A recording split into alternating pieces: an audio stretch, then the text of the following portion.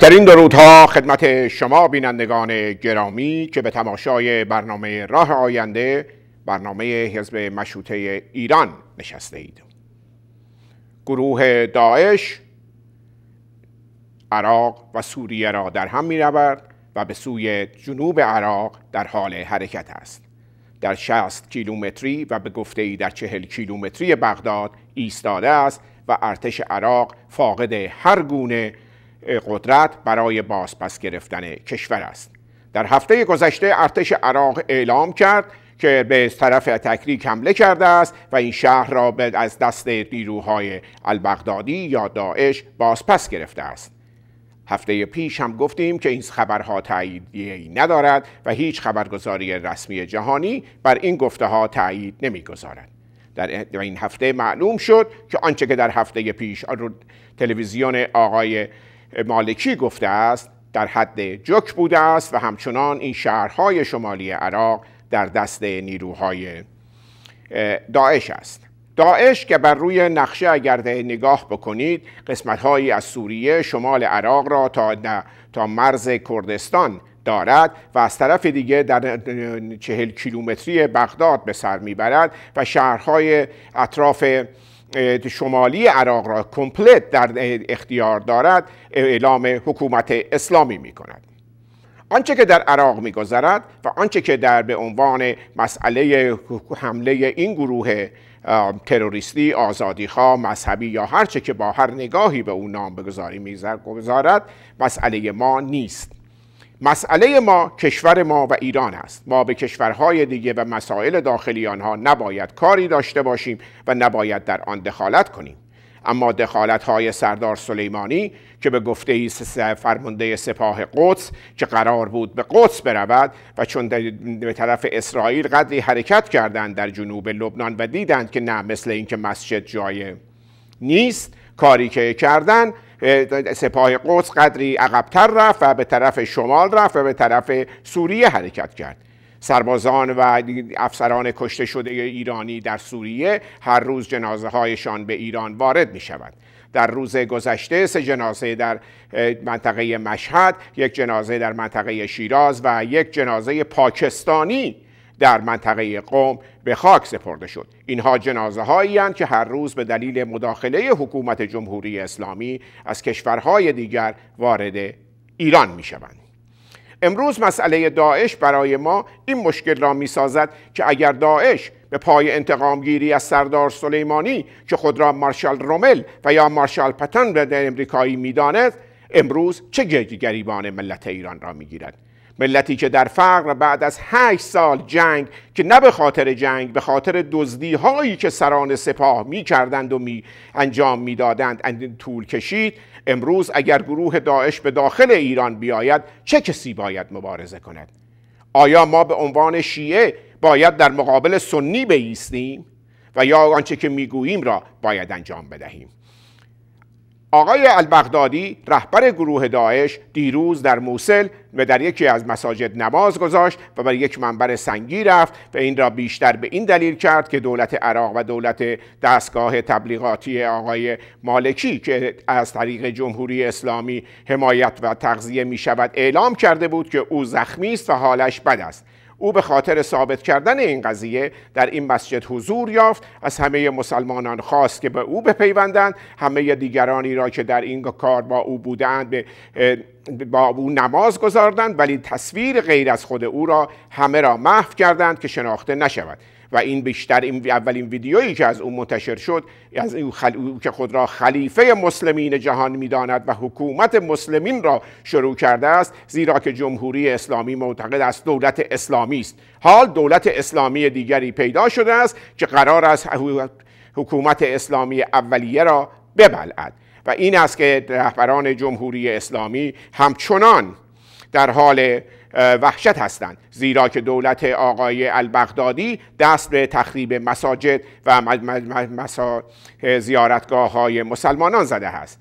آقای المالکی را در تصویر می‌بینیم که تنها نشسته است و همچنان می‌گوید که من نخست وزیرم و او نیز داستان دیگری دارد زمانی که با آقای سیستانی یا به حرف آقای سیستانی گوش نداده است و آقای سیستانی رهبر شیعیان جهان خواسته است که آقای مالکی یک حکومت همگانی به وجود بیاورند و یک حکومت ملی از کردها از سنی ها از اشایر عراق و از خود شیعه ها اما آقای مالکی این دست نشانده و این سیغه دولت جمهوری اسلامی همچنان اعلام می کند که تا آخر حکومت میماند. زیرا که تصور می کنند آنچه که در سوریه اتفاق افتاد می‌تواند در عراق هم اتفاق بیفتد.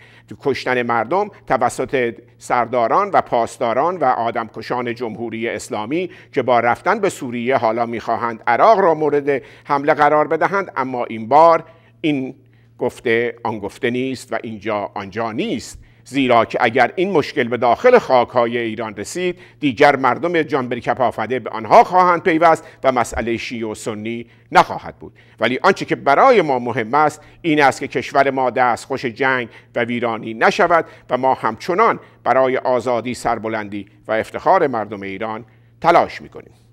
در ادامه برنامه امروز و یا به یاد همه شهدای کودتای نوژه و افسران نیروی هوایی نیروی ارتش و همه آنانی که در این مقوله در کنار هم ایستادند تا شاید ما به چنین روزی نیفتیم با سروان خلبان خسرو بیت اللهی دگر بار به گفتگو می نشینیم و با شما از آنچه که در آن روزها گذشت سخن می‌گوییم.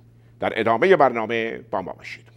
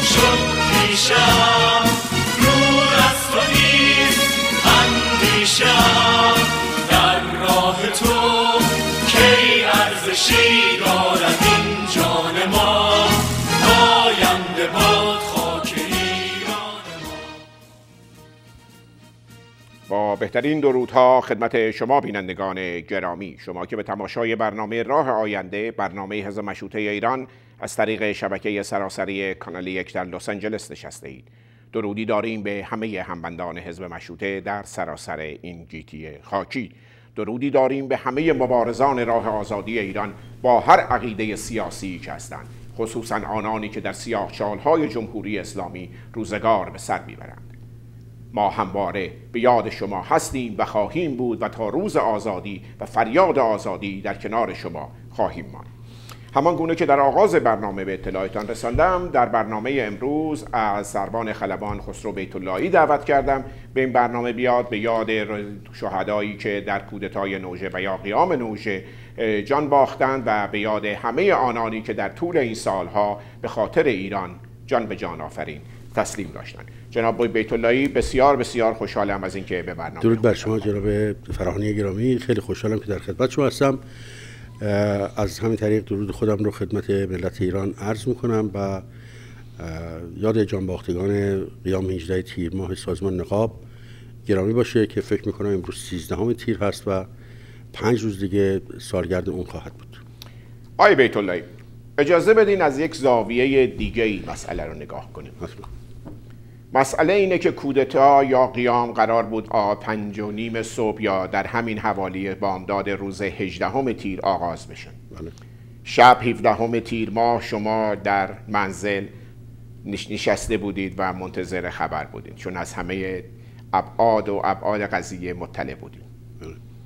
سروان سلیمانی از کماند پست به شما زنگ می‌زنه از شما می‌خواد که به کماند پست برین در اون موقع شب و از شما می‌خواد که براش پرواز کنید. در اون موقع چه احساسی داشتین؟ چی فکر می‌کردین و چی فکر کردین؟ البته به روز 17 که میفرمایید ما دو تا مرکز تجمع درست کرده بودیم در پایگاه که خلبان ها در این دو مرکز تجمع بودن. چون اتوبوس که می اومد جامین بوس که بخواد خلبان ها رو به پرواز لاین پرواز ببره این که نخواد خونه به خونه خلبان ها رو سوار کنه جمع بتونن سریعتر خودشون رو برای پرواز آماده کنن.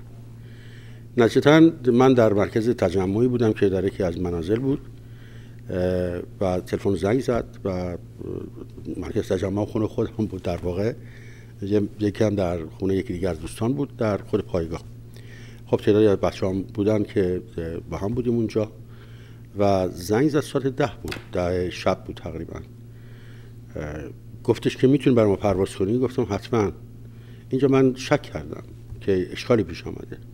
چون ما منتظر بودیم که نیرویی که از تهران میاد در واقع چیزهایی که قرار با خودش بیاره و به جمع ما بپیوندن ولی چطور شد ساعت ده شب؟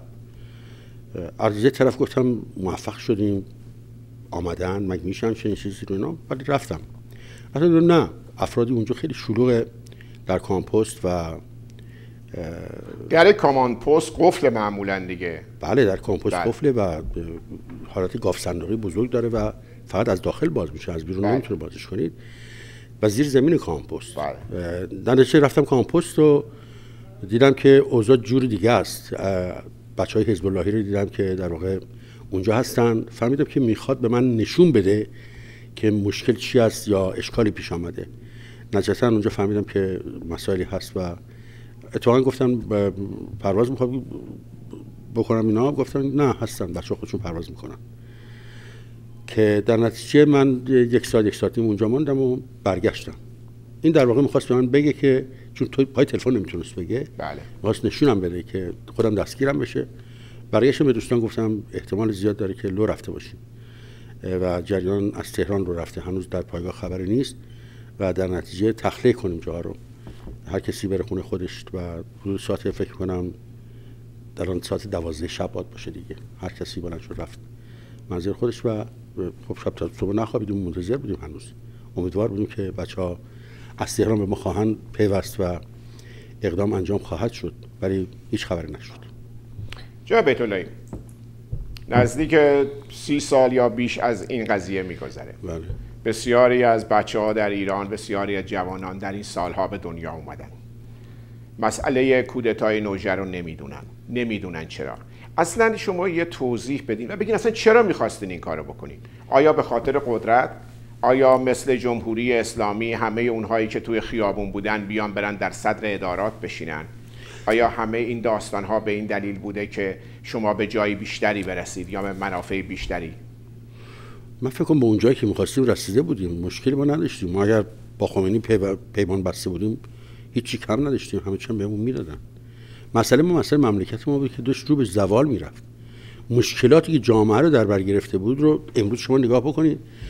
این اون, اون, احساس رو ما داشتیم که در واقع منافع ملی ایران در خطر هست و اینها آدمهایی نیستن که بتوانند حکومت کنن و این مملکت رو به سرمنزل مقصود برسونن و از آنچه که داشتیم داشتیم پایینتر می آمدیم نتیجتا باید اقدامی می کردیم و بهتر موقعیت هم اون زمانی بود که ما هم اقدام کردیم. به هر حال با توجه به اینکه هر کدوم از ما در واقع پست های کلیدی داشتیم و می‌تونستیم موثر واقع بشیم و از طرفی جمهوری اسلامی همون موقع همین آقای خامنه‌ای معاون وزارت دفاع بود و شروع کرده بودن به پاکسازی ارتش. و خب انقریب بود که هم, هم پاکسازی بشیم. و ما دست ما کوتاه بود نسبت به کاری که بتونیم انجام بدیم. واسه خب مملکت شما میگین انقریب قرار بود بله. شما پاکسازی بشیم. نه, نه من نمی‌دونم می‌شدیم یا نه ولی خب, خب می لیست جمع به جمع داشتن می‌شدن این کار می‌کردن دیگه. خب یه مشت خلبان صد و اندی خلبان جوان چیزا اگر اینا می‌خواستن پاکسازی کنن بعد اون وقت که هواپیما پرواز می‌کرد چه کسی قرار بود بره این هواپیما رو به پرواز در بیاره؟ ببینید قرار نبود کلا همه رو در واقع پاکسازی کنن. اونا که از خودشون بودن نگر میداشتن. حالت خودی غیر خودی دیگه. کرده بودن خیلی بله. از خلبانا رو که اونقدر خرج شده بود اونقدر تجربه شده همه رو برکنار کرده بودن. اصلا ربطی به این جریان نداشت. قبل از این جریان شروع کردن. از مهلال ارتشی که از کارهای اینها بود. خاص تمام نیروهای سیاسی اون روز سازمان مجاهدین خلق چریکای فرای خلق حزب توده همه اینا از مهلال ارتش رو می‌خواستن. و این هم داشتن تن در می‌دادن به مسئله. در نتیجه باید بود کاری کرد. این نبود که ما کار خودمون یا پست خودمون یا مقام خودمون دست میدیم مسئله وضعیت و روند بود که مملکت داشت می‌رفت و به ناکجا آباد داشت می‌رسید. در نتیجه مجبور بودیم به یک حرکتی انجام دادن. و اینکه اون حرکت من نمیگم صد درصد ما بهش ایمان داشتیم که پیروز میشه.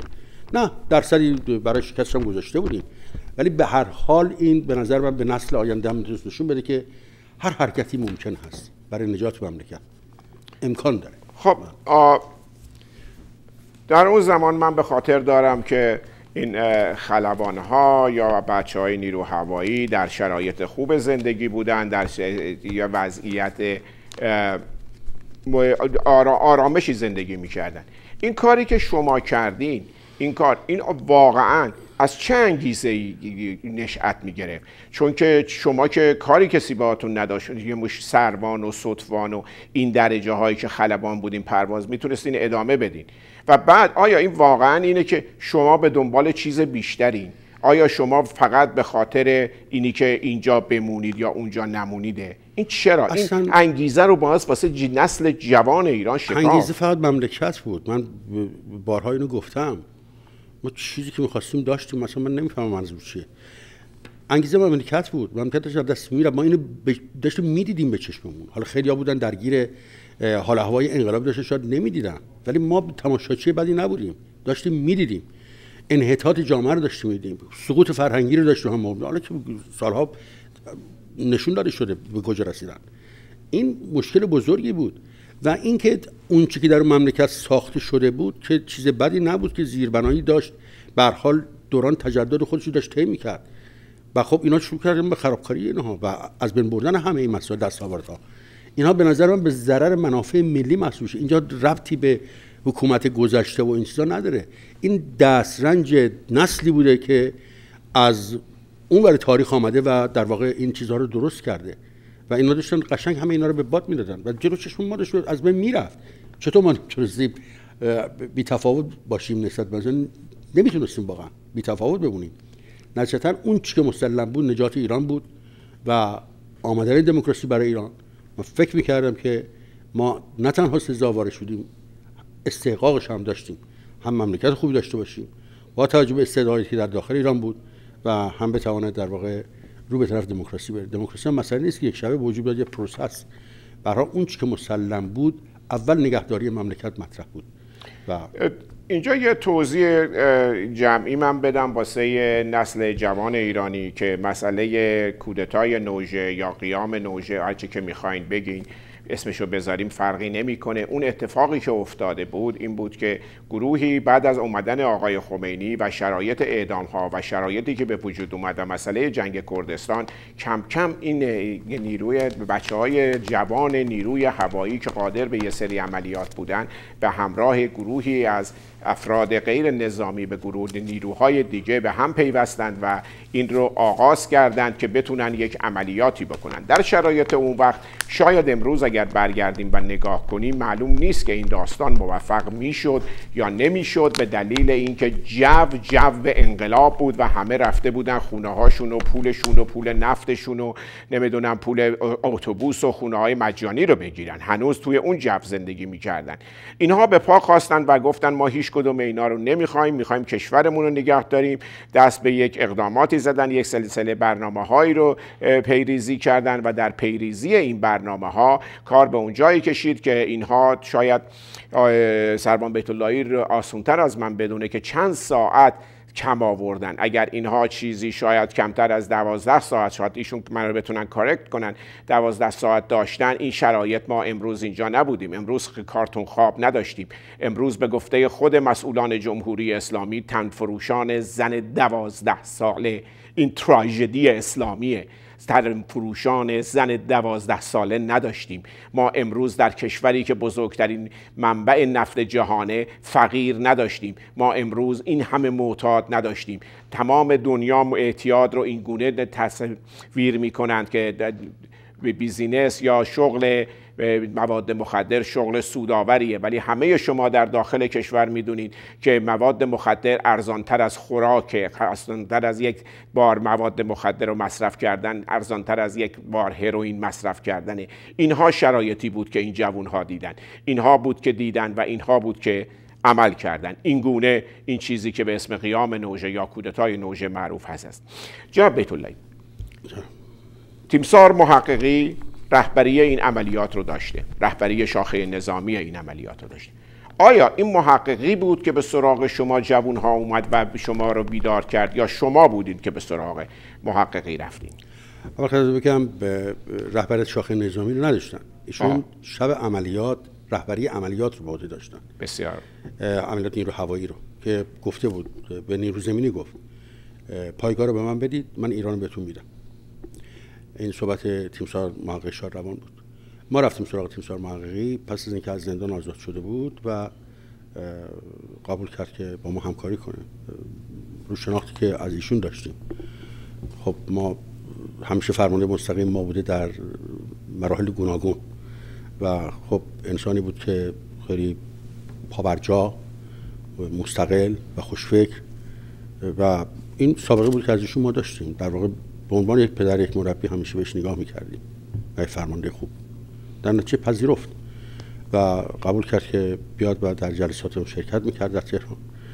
ایده های بسیار بسیار خوبی داشت. با توجه به تجربیاتی که در طول زندان داشت و خیلی شکنجش کرده بودن. ماش سپی شده و کلا همه. یعنی تیمسار محققی فکر می‌کنم درست یادم میاد. بله تیمسار محققی رو بعد از انقلاب دستگیر می‌کنن زندان می‌کنن از بله. زندان در میاد باز هم به جوان ها میپیونده و آماده واسه دقیقا دقیقا. چون فبر پایگاه یکم بود اون موقع. ایشون باید شد که در واقع یک روز حتی خمینی هم دیرتر بیاد. چون فرودگاه رو بسته اعلام کرده بود اون موقع. به اینجا بد نیست که سال روز تولد دکتر شاپور بختیار هم هست. بله. سال ایشون هست. یاد از ایشون بکنیم که به نظر من انسان بسیار پاک باخته و ایران دوست و وطن پرستی بود که در واقع بر سر اعتقاداتش و و واقعا بر سر مسئله مملکت خود جانش رو داد به حال من تا اونجا که می‌دونم در هفتم تیر صدمین سال روز ایشون بود که در کل مراسم برپا کرده امروز هم در هامبورگ مراسم برپا شده. به حال تشکر می‌کنیم از تمام دوستان که در واقع همیاری کردن همکاری کردن و یاد این در واقع چهره های خوب تاریخ ایران رو زنده نگه میدارن. جناب بیت الله اون چی که در این محاکمات دیده شد اگر اشتباه نکنم خلبان جهانگیری سرگرد جهانگیری کسی بود که قرار بود خانه خمینی رو بزنه. چرا دو نفر انتخاب شده بودن واسه اینکه خونه خمینی رو بزنن؟ اتفاقا سال جالبی به نظر من روح فرخزاد جهانگیری واقعا شاد باشه. افسر بسیار بله. بسیار خوبی بود. من فکر صحبتاشو شنیدید. خیلی مردانه و اشرافتمندانه پای صحبتاش بود. این قرار بود قبل از اون همه می‌خواستن این کارو بکنن. خونه خمینی رو بزنن. همه خلبانا خب نمیشه یعنی یکی از هدفها این بود و همه مشتاق بودن. بله همه می‌خواستن اون بزنن. بر حال آخر مجبور شدن بگن دو, دو تا فروند این کارو بکنن و قرعه کشی کردن. اسامی رو نوشتن و اسم این دو نفر در اومد آقای در واقع سرگاه فرخزاد جانگیری بود و سروان حمید نعمتی. اسم این دو تا در اومد. بله. که این دوتا مسئول در واقع زدن خونه خمینی بودن. این آیا فقط به این دلیل بود که تو کمرکش کوه بود این جماران یا دلیل دیگه ای داشت؟ جای بسیار سختی بود. طوری بود که موقعی که می‌خواستن بزنن شیرجه باید بکنن و بعد هواپیما رو بکشن بالا خیلی سخت بود و امکان خیلی کم بود که در واقع هدف رو کاملا بتونن بزنن. در نتیجه به صورت کاموکازی خودشون می‌زنن. نه تنها اصل بمب خودشون می‌زدن یا موشک خودشون می‌زدن که موشک موریک بود نتیجه خودشون هم به هواپیما می‌زدن به هدف که مطمئن بشن هدف از بین رفته. و خودشون هم از بین می‌رفتن. بله. آی بتوله اگر اجازه بدین بریم به یک موزیک ویدیو به یاد همه شهدا و افسران و درجه داران و همه کسانی که واسه ایران جان باختن. بله. نگاه کنیم بازگردیم صحبتمون رو پی بگیریم. خواهش می‌کنم.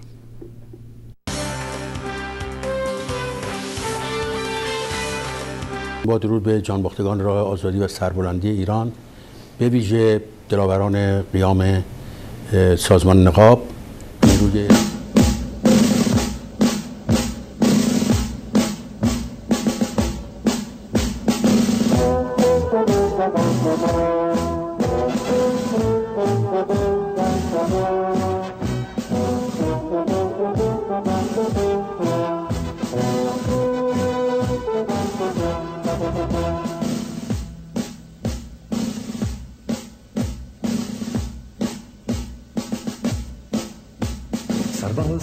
وطن چه شد؟ سرباز سرباز وطن کجاست؟ سرباز سرباز سکوت تو چه سرد و سخت و بی صداست؟ سرباز سرباز مزار تو میان دشت و تپه هاست؟ سرباز لباس خونیت غرور لحظه هاست.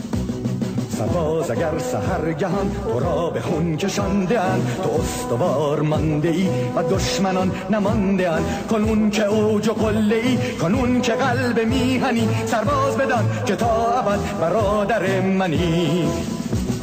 سرباز سرباز وطن چه شد؟ سرباز شهید راه ما. بدان همیشه جای توست میان مشت توده ها. تو از تبار ملتی صدای تو مرا صدا. سرباز حماسه تو شد شه حماسه ها.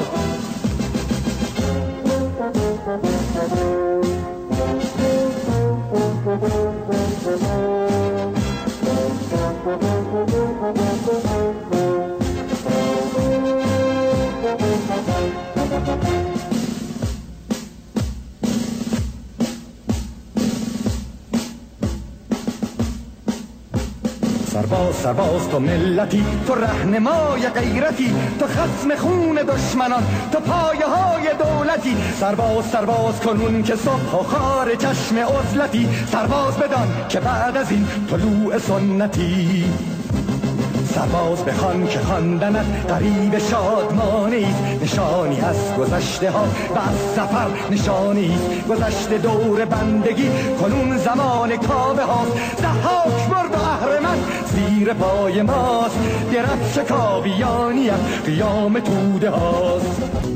سرباز اگر سهرگهان تو را به خون کشانده تو استوار مانده ای و دشمنان نمانده کنون که اوج و قله ای کنون که قلب میهنی سرباز بدان که تا ابد برادر منی. سرباز سرباز وطن چه شد؟ سرباز شهید راه ما. بدان همیشه جای توست میان مشت توده ها. تو از تبار ملتی صدای تو مرا صدا. سرباز ما تو شد شه حماسه ها.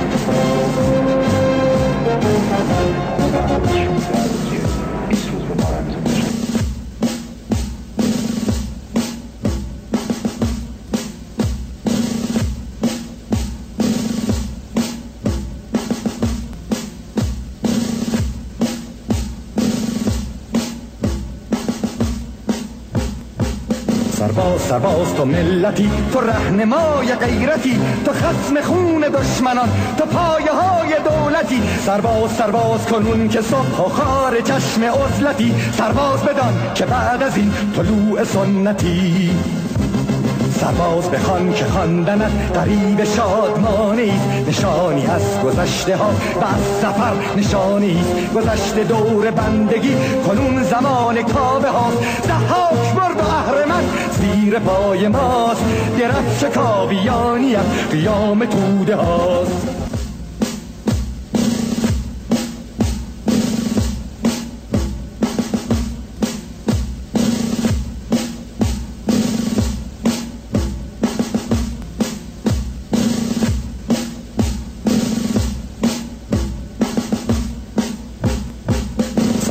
سرباز تو ملتی تو رهنمای غیرتی تو ختم خون دشمنان تو پایه های دولتی. سرباز سرباز کنون که صبح و خار چشم عزلتی. سرباز بدان که بعد از این طلوع سنتی. سرباز بخوان که خواندنت قریب شادمانی نشانی از گذشته ها و از سفر نشانی گذشته دور بندگی کنون زمان کابه ها زحاک برد و اهرمن زیر پای ماست. درفش کابیانی قیام توده بله. صحبتمون رو با سروان خلبان خسرو بیت اللهی پی جناب بیت اللهی آیا اون وقت که این حرکت شکل گرفت این دستوری بود که از طرف شاه که در خارج از کشور احتمالا در مصر بود به شما صادر شد؟ نه من فکر نمی کنم ایشون اصلا خبر داشتن. که همچین اتفاقی داره میفته. حتی اگر دیده پس از اینکه لو رفت مثل که یک مصاحبه داشتن با دیوید فراست. اتفاقا اونجا گفتم من یعنی تعجب کرده بودم. و خیلی که هنوز افسرانی هستن یا جوانانی هستن که در واقع به فکر مملکت هستن. ولی نه هیچی با تماسی با ایشون نبود و این حرکت در واقع سرهنگ بنی باقر بنی آمری شکل داد. با توان بسیار زیادی و کوشش زیاد. نتیجتا مردم رو یعنی افسرانی رو در واقع از اقصانقات ایران به یکدیگر متصل کردن. و در این رهگذر در واقع این بخش نظامیش بود. و بخش سیاسی داشت که آقای دکتر شاپور بختیار اون رو رهبری می‌کرد. و دوستان ایشون و کسانی که در دولت ایشون بودن و خب به حال من فکر می‌کنم هیچ وقت وقت نشد که از دونه دونه افراد در واقع به اسم ببریم. شاید اینجا محترم وقت بشونه که به همه اون زنان و مردانی که در این قیام شرکت کردن و جان خودشون رو جانانه تسلیم کردن درود بگم و درود بفرستم به بازماندگانشون که هستند و همیشه باید سرشون رو بالا بگیرن و افتخار بکنن. کسانی داشتن که در واقع تاریخ را ورق زدن تاریخ رو زرین کردن و من فکر کنم به روزش همیشه خواهد رسید که یاد شایسته ای از این زنان و مردانی که در این راه جانشون دادن بشه به امید اون روز ولی به هر حال امیدوارم که بازماندگان اینو بپذیرن که خب. ما همواره راه اینها رو دنبال می‌کنیم تا پیروزی و رای مملکتمون جا بطوله فقط نیروی هوایی نبود که در این عملیات یک گروه حتی از غیر نظامیان و از نظامیان ارتش و جاهای دیگه هم با این قیام هماهنگ و برنامه رو بله. می‌کردن. بله اتفاقا مسئله بزرگش همون نیروی زمینی بود. بله. بخش, بخش اولیش که در واقع عملیات بود نیرو هوایی انجام می‌داد. بقیه حرکاتش در واقع گرفتن پایگاه دست نیرو زمینی بود. و حتی نگهداری در واقع مملکت دست نیرو زمینی بود. چون تعدادی بیشتری داشتن و در همه جا بودن و سهولت امکاناتی در روی زمین داشتن.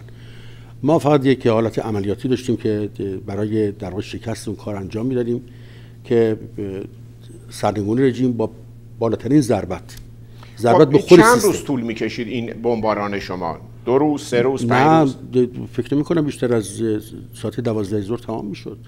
یعنی چیزی در 6 ساعت. 6 ساعت تقریبا و دوازده ظهر تمام می‌شد و استنباط ما این بود طبق برنامه و پلن که ارتش اوضاع در دست خواهد گرفت و به وسیله نیروهای در واقع شبه نظامی که در شرکت داشتن اقوام مختلف درش بودن که منطقه خودشون رو در واقع حفظ می‌کردن و کمک می‌کردن به ارتش در مناطقی که هستن که بتوانن در واقع تامین امنیت بکنن در نتیجه بعد از اونم دولت موقت میمد سر کار که خود آقای شاپور بختیار بود.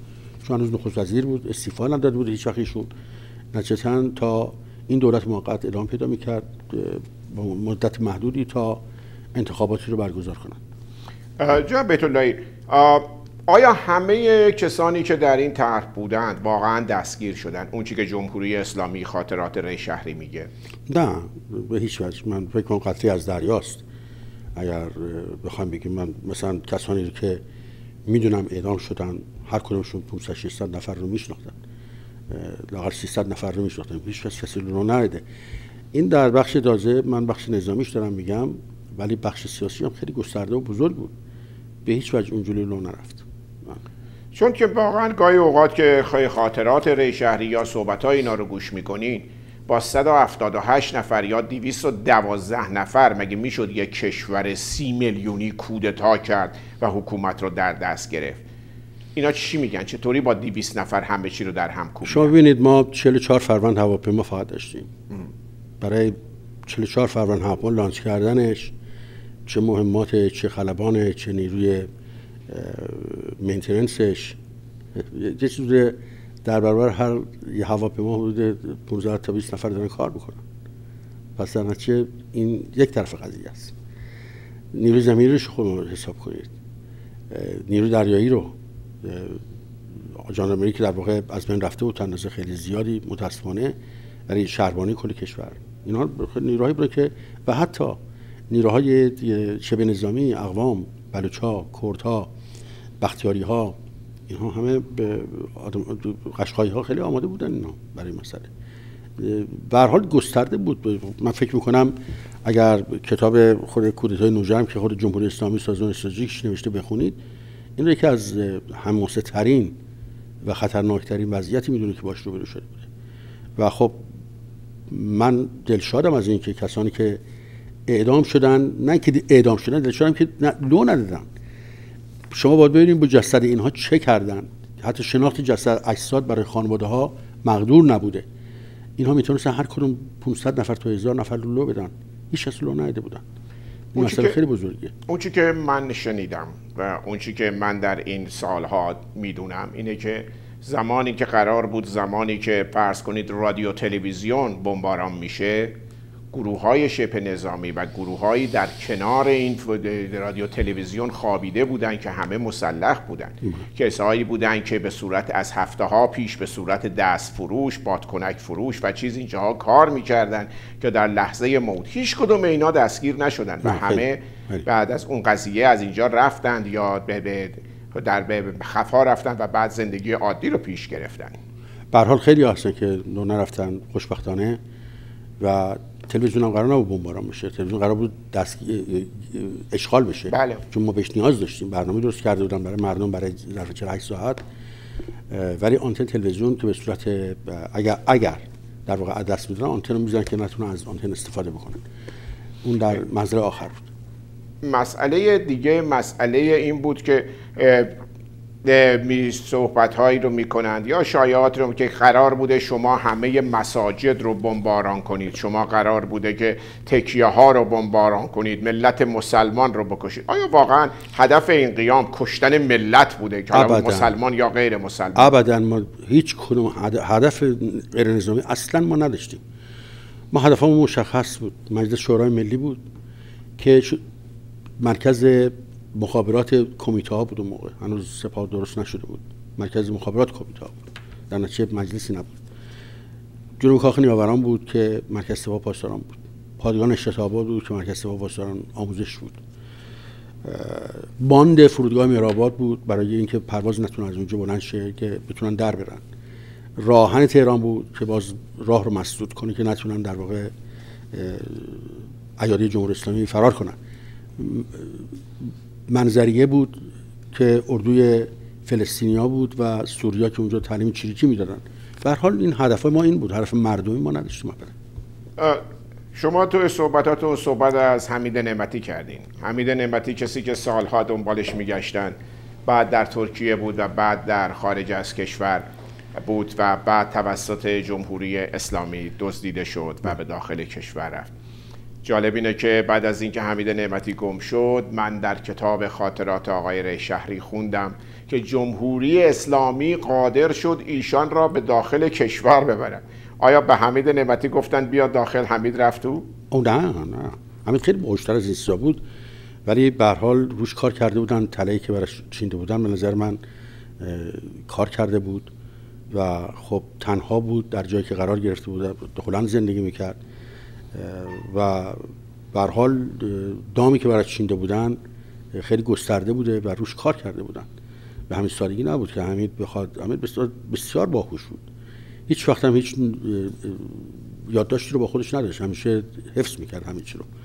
نتیجتا من فکر کنم از این طریق در واقع کشوندنش به قبرس و از قبرس رو دزدیدن و بردن با کمک سفارت ایران به ایران.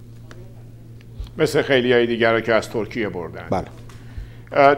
جا بیت الان بعد از گذشت این سالها خیلی از این خونواده های بازماندگانشون که هستن بله. اینها سی سال سی و چند سالشون می‌تونه باشه. مینیموم باید سی و سی سال سی و یکی دو سالشون باشه.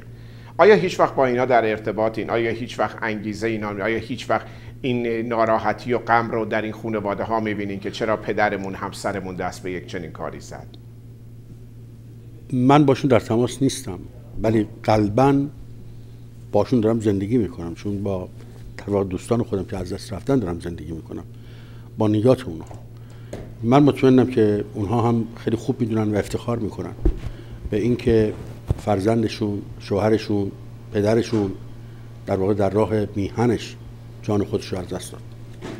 ما اگر خاطرم باشه یکی از این خلبانان دختری داشت که هیچ وقت ندیده بود. و در امریکا بود و امریکایی بود و همسرش هم خلبان امریکایی بود بله. در یکی از مراسم اگر اشتباه نکنم اومد پیش شما بله و بله. شما به من معرفیش کردین بله. و اون چقدر واسه پدرش احترام و ارزش و چقدر البته شما نمی‌خوام بیارم منم نمی‌خوام بیارم بله همین به هر حال امیدوارم که موفق باشن هر جا که هستن همسرش هم خلبان بله. امریکاست بله. نظامی امریکاست بله بله.